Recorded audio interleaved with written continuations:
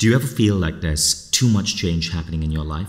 Especially if you're a leader, a founder, an entrepreneur, a CEO, a C level executive, change in your life is almost non stop. So I was talking to the Indian spiritual teacher Mahatria, and he explained this idea to me. Mahatria said, The life of a legend is always in transition.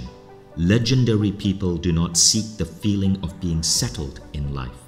So, yes, you can fret about change, but you're choosing to go through transition after transition after transition. When your life is in constant transition, yours is the life to watch. Legends live in transition. But Mahatria also expressed that there is a problem with this type of life. It is the constant stress and the discomfort of this constant transition. Every time you move from lesser comfort to higher comfort, you're going through a transition. How do you ensure that this transition is as comfortable as possible?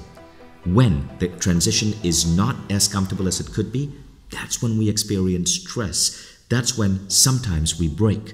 This is why so many people who are leaders report feelings of high stress, loneliness. They report that their bodies are feeling drained or sick or low in energy. But there is a solution to that, and that is to raise your resilience and raise your grit. We call this super resilience. Super resilience is the idea that as you're building your legendary life and things are changing so fast, you can navigate that change. You can work with the energy of that change and not let it break you. In fact, every time you go through change, you're rubbing your hands in delight because you know there's going to be something amazing on the other side. When you can master super resilience, growing your business, expanding the quality of your life becomes effortless and a side effect is that your health becomes truly radiant. If you want to learn the topic of super resistance, this is going to be covered in my upcoming seminar for CEOs, founders, and C level executives happening on August 28.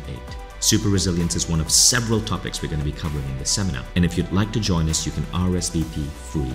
All the information is on the page below.